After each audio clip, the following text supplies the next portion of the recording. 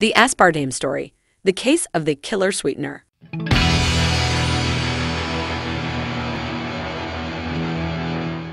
Aspartame was originally conceived and an application submitted as a drug to treat peptic ulcers in December 1965.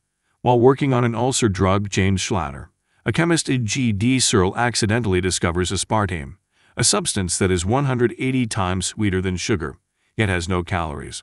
In 1981, the FDA approved aspartame as a low nutritive sweetener. It entered the food chain in a powdered or solid form. Have you heard about this new low calorie sweetener? Yes, it's great. I'm using it in my tea to replace sugar.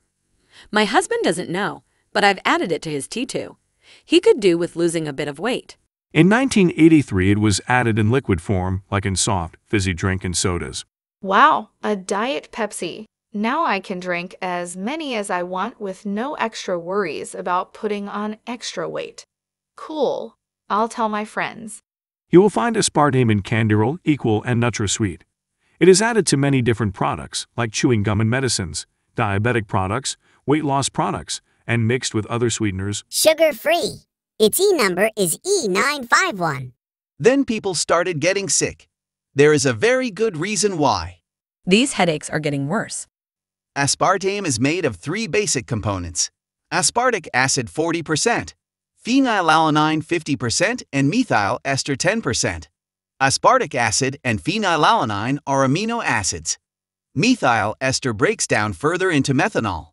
Methanol is basically a wood alcohol. Methanol is the simplest alcohol and is a light, volatile, colorless, flammable liquid with a distinctive odor, very similar to that of ethanol or drinking alcohol. However, unlike ethanol, methanol is highly toxic and unfit for consumption. It is also used for producing biodiesel. Yuck. At room temperature, it is a polar liquid and is used as an antifreeze, solvent, fuel, and as a denaturant for ethanol. Then the methanol further breaks down into formaldehyde. Formaldehyde is used to embalm things like dead bodies. Imagine what this does to living tissue. A diet drink did this. After the formaldehyde, the methanol then breaks down into formic acid, which is another nasty chemical. Formic acid can be found in the venom of fire ants and bees. They use it as a weapon against predators. Formic acid is also used in place of mineral acids for cleaning products such as limescale remover and toilet bowl cleaner. Who'd want to consume these poisons? My name's Dr. Blaylock. I'm a neurosurgeon. The body produces aspartic acid that serves as a neurotransmitter, facilitating the transition of information from neuron to neuron. Excess aspartic acid, an amino acid, creates too many neurotransmitters in certain areas of the brain. This excess damages or kills neurons by overstimulating them, hence the term excitotoxin. Remember, aspartame contains 40% aspartic acid. The late Dr. Olney campaigned for greater regulation of monosodium glutamate, MSG, aspartame, and other excitotoxins for over 20 years. Excessive amounts of aspartame, over time, begin to destroy neurons. Naturally, people mostly vulnerable to excitotoxic neurological damage are pregnant women, the elderly, children, babies, infants, the chronically afflicted, or people who are stressed. For orientation about the gravity of this public health dilemma, I shall mention just a few of the published associations in aspartame reactors. They include the initiation or aggravation of diabetes mellitus, hypoglycemia, convulsions, headache, depression, and other psychiatric states, hyperthyroidism, hypertension, and arthritis, the simulation of multiple sclerosis, Alzheimer's disease, and lupus erythematosus, increasing aspartame addiction, an apparent causative role in brain tumors, a neurologic condition in overweight young women known as pseudotumor cerebri, and even the carpal tunnel syndrome. Quote by Dr. H. J. Roberts. In vulnerable people, the blood-brain barrier is weaker. Therefore, these toxins are likely to get past and go straight to the brain, causing illness or even death. As far back as 1988, seven years after the initial release of aspartame, 80% of complaints volunteered by consumers to the FDA about supplements involved aspartame products. By April 1995, it had received 7,232 complaints including blindness, rashes, tinnitus, headaches, dizziness, confusion, convulsions, grand mal seizures, drowsiness, depression, suicidal tendencies, extreme anxiety, palpitations, severe insomnia, personality changes, nausea, vomiting, diarrhea, abdominal pain, tremors, recent hypertension, severe joint pain, problems with diabetes, impaired hearing, menstrual changes, atypical chest pain, hyperthyroidism, urinary disturbances, aggravated hypoglycemia, addiction to aspartame, and weight gain. Also, Diketopiperazine or DKP, a byproduct of aspartame metabolism, DKP has been associated with the formation of brain tumors. DKP has been found to form in aspartame-containing beverages during prolonged storage, particularly above 86 degrees Fahrenheit. Gulf War troops drank copious amounts of aspartame-sweetened sodas that had been stored for extended periods in the hot Arabian sun. Humans, lacking a couple of key enzymes, are many times more sensitive to the toxic effects of methanol than animals. Therefore, animal studies, with regard to the effects of methanol in the body, are of no value. Aspartame enthusiasts are quick to mention that many common foods such as fruit juices and alcoholic beverages contain methanol. However, in these instances, ethanol is always present, usually in higher amounts. Ethanol serves as an antidote to methanol. Aspartame contains no ethanol. How on earth did aspartame get approval to be added to the world's food chain? That's the question. By 1976, the GD Searle Company's campaign to achieve the approval of aspartame was mired in controversy. Amid objections to aspartame approval, formally filed by consumer advocate attorney Jim Turner and neuroscientist John Olney, the U.S. Food and Drug Administration, the FDA launched an investigation into Searle's laboratory practices. The FDA determined that the aspartame developers' testing procedures were shoddy, producing inaccurate results due to manipulated data. The investigators stated in their 1976 report they had never seen anything as bad as Searle's testing. March 5, 1973, one of the first FDA scientists to review aspartame safety data states that the information provided by Searle is inadequate to permit an evaluation of the potential toxicity of aspartame. The FDA report prompted a grand jury investigation led by U.S. Attorney Sam Skinner. Six months later, Skinner resigned from the U.S. Attorney's office to take a position at Searle's law firm, Sidley and Austin. Remember Searle, the firm producing aspartame. By March 1977, Searle had hired former Illinois Congressman and former Secretary of Defense, Donald Rumsfeld, as its chief executive officer. By December 1977, the statute of limitations had run out on the grand jury investigation. Charges against Searle were dropped by the U.S. Attorney's Office. Though opposition to aspartame approval was increasingly being supported by independent scientific studies, Rumsfeld's political muscle prevailed. On July 15, 1981, in one of his first official acts as FDA commissioner under Ronald Reagan, Dr. Arthur Hull Hayes, Jr., approved aspartame for dry products.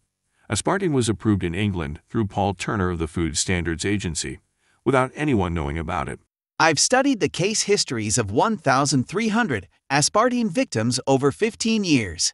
I coined the term aspartame disease to encompass reactions to the chemical sweetener, aspartame, commonly known as NutraSweet and Equal. Dr. H. J. Roberts, MD, FACP, FCCP. As far back as 1988, seven years after the initial release of aspartame, 80% of complaints volunteered by consumers to the FDA about supplements involved aspartame products. By April 1995, it had received 7,232 complaints. To place its magnitude in perspective, over two thirds of the population now uses thousands of diet sodas and products, including an ever expanding list of new ones having greater potential for adverse effects. I wrote a book about it. I declared aspartame disease a worldwide epidemic. Hundreds of people's chronic symptoms reversed once aspartame was removed from their diets. Betty Martini from Mission Possible. A tireless campaigner against aspartame and other insults against humanity. Aspartame is a toxin, like arsenic and cyanide. I demonstrated that aspartame causes tumors, cancer, seizures, and other chronic health problems. It can make people confused, disorientated, and is linked to autism and Alzheimer's disease. Dr. Blaylock, neurosurgeon, author of numerous books, including Excitotoxins The Taste That Kills. Every known metabolite of aspartame is of marked or questionable toxicity and patently unsafe for human use. The only responsible action would be to immediately take aspartame off the market, fully disclose its toxicities, offer full compensation to the injured public, and criminally prosecute anyone who participated in the placement of aspartame on the market. That includes those who work so diligently to keep it there as well, explained Dr. James Bowen. On November 2, 1987, Emory University professor of pediatrics and genetics, Dr. Louis Elsas, testified before Congress. Aspartame is, in fact, a well known neurotoxin and teratogen, meaning it causes abnormal embryonic development, which in some undefined dose will irreversibly, in the developing child or fetal brain, produce adverse effect. I am particularly angry at this type of advertising that is promoting the sale of a neurotoxin in the childhood age group. Dr. Elsas told the nation's lawmakers assembled on Capitol Hill. Dr. Maria Alemany, who did the famous Trocho study that showed that formaldehyde, when converted from the free methyl alcohol embalms living tissue, said aspartame would murder 200 million people. In 1985, Monsanto purchased G.D. Searle, the chemical company that held the patent to aspartame, the active ingredient in NutraSweet. Monsanto was apparently untroubled by aspartame's clouded past, including a 1980 FDA Board of Inquiry comprised of three independent scientists, which confirmed that it might induce brain tumors. Aspartame is still at large in thousands of products around the world, many aimed at children's products, such as soft drinks and liquid medicines, the diabetic market, in slimming products. It has even been twinned with other chemical sweeteners like acesulfame K.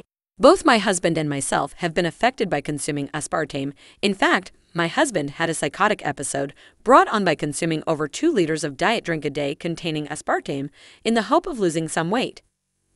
It puzzled the doctor because he had no mental health problems. We had no idea why we were getting more ill with various horrible symptoms until one day I read about the problems with aspartame. We immediately stopped consuming the diet drinks and recovered very quickly. At the time, my husband worked in air traffic control, a very stressful and safety conscious job. If you eliminate aspartame from your diet, it could save your life. Tell others about the dangers of consuming products that contain aspartame. I personally know three people who've recovered from serious symptoms, including blindness, hideous tremors, rashes, and depression, by stopping the consumption of aspartame. One teenager fully recovered from symptoms that her doctor had decided to treat with powerful pharmaceutical drugs.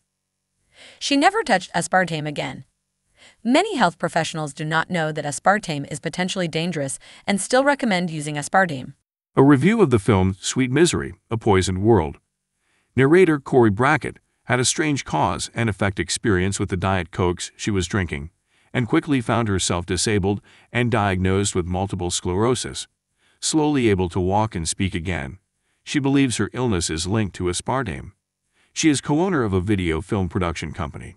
After 7,000 miles and 25 hours of footage, Sweet Misery will reveal one of the most pervasive, insidious forms of corporate negligence since tobacco. Review written by J.T. Waldron. Because aspartame has been approved for consumption, people automatically think it is safe. Many people are addicted to it. Children's food, diet drinks, and medications often contain aspartame. Before you go, check your kitchen and bathroom for products containing aspartame.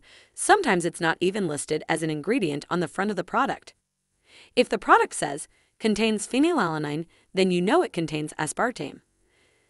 Some companies have got good at hiding it. Check everything, including sweets, medicines, and even cooking sauces and crisps. It's in thousands of products.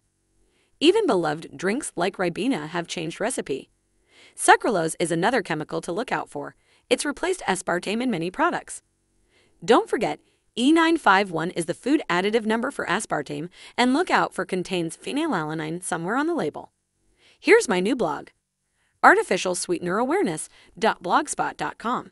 This comic was made with the information on the following websites The Artificially Sweetened Times, Rense.com, Dorway.com, Betty Martini's website, MPWHI.com, which is Mission Possible World Health International.com, and Dr. Mercola's website. It was written in 2015. using Pixton's comic making software.